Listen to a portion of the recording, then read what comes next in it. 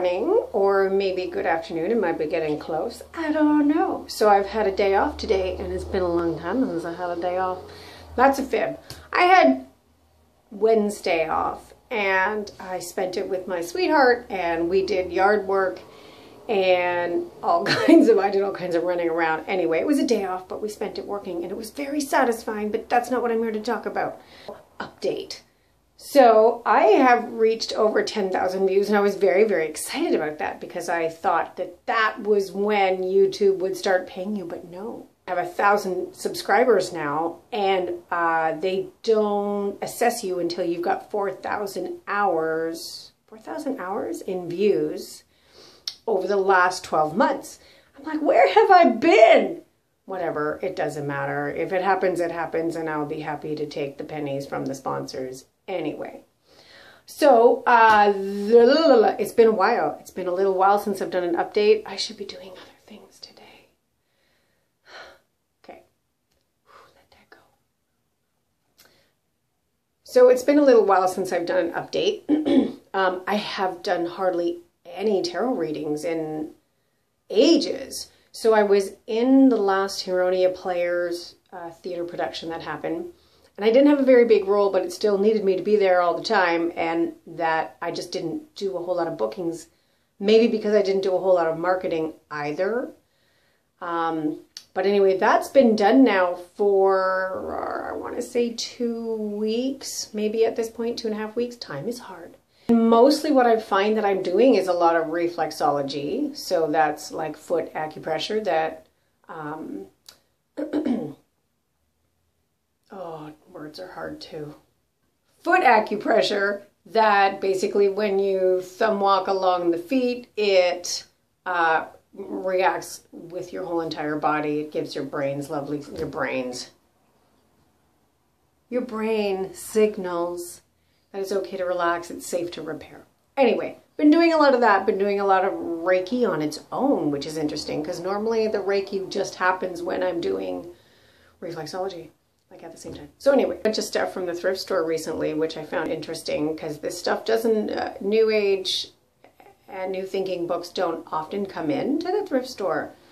So I brought some books up to the tub with me to show you. Let's see. So this book is called The Power of Prayer. Um, and you know what, I wasn't familiar with it, but it caught my eye. And also because it had a, um, like a recommendation quote on the front from Neale Donald Walsch, who is the author of the Conversations with God stuff. And so, um, I thought it'd be interesting to read, even though it, you know, it, I'm not sure if it has a religious um, slant on it. I'm guessing yes, but it might not um, I thought it'd be interesting and it popped out at me and sometimes that's the way these things work. There might be one little nugget in this book for me and, and that will, it'll give me my aha moment. What else did I bring in here? Oh, okay. I totally already have a copy of this. But Ask and It Is Given, uh, Esther and Jerry Hicks came in and it came in, it's not the version with the disc in it. Some of these versions of this book, I guess newer versions of this book had the disc in it. This has been read and loved and it's got little dog-eared corners on it and that makes me happy because I am totally guilty of doing this thing.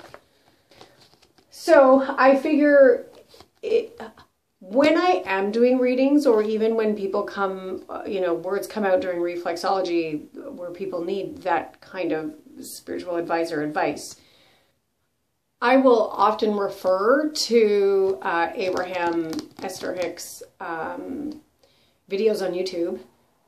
If people are looking for a way to raise their vibration and the idea of getting on the high flying disc and all that stuff, I use this quite a bit. Um, so anyway, that came in and I thought, well, there must be something in it for me. I'm not quite sure where my version went. I may have given it away where my, my copy went because I do that too. Um, anyway, that came into the thrift store and I found that interesting. Okay, so then some other stuff came into the thrift store that really wasn't related. Calligraphy, calligraphic ornaments. So I've I picked this up because I feel like this might mean there's some painting in my future or wood burning that needs to be done. That's nice, some empty pages. Anyway. And then the other thing that came to the thrift store that really doesn't mean too much, I don't think, but sometimes these things do. There might there's something in this for me. Thomas Hardy, Far from the Madding Crowd. So, it's a novel. Uh, 1974. This, I believe, is a 1975 version of the book or printing of the book. Anyway, I've heard Far from the Madding Crowd referred to um, in other things, and I I can't remember what. However, um, I'm going to read it and, and enjoy it. I'm sure of it. There's something in here for me.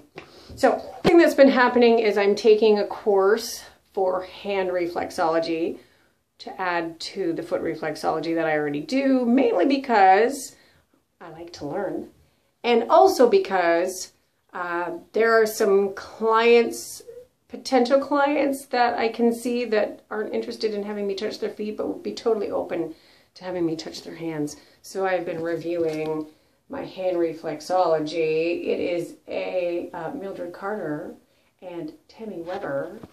Um, I've had this for a long time. And I probably also picked this up at the thrift store or at a thrift store. It might have been a Value Village or Goodwill when we had those. Um, this is a copyright 2000 book, which is interesting to me because so much of the stuff that I have found for reflexology is older. It's much older on my shelves. Okay, so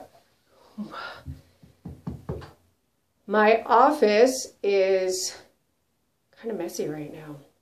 I've got more furniture in it than I'm comfortable with. I, would like a, a more open space but I'm still, I'm waiting for some shelves to be built.